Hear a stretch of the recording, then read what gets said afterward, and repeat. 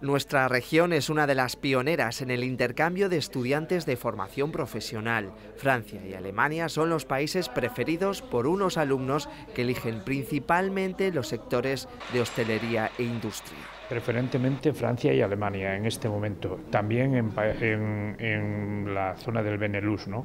pero preferentemente Francia y Alemania.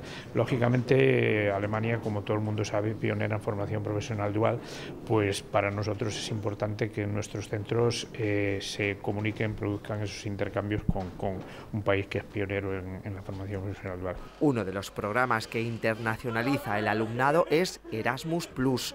Tiene implicados en nuestra región a 146 centros educativos. Se trata de una iniciativa europea que cuenta solo en Castilla-La Mancha con 76 proyectos correspondientes a la movilidad de estudiantes y profesorado hacia centros de otros países. Pues hoy nuestros alumnos y alumnas eh, y nuestros centros, en colaboración con empresas europeas, eh, hacen formación durante seis meses en, centros europeos, eh, viven en, esas localidades, se comunican, aprenden esa, esa lengua. Y es que el peso de esta formación es cada vez más importante. Tiene una salida profesional que roza casi el 100%.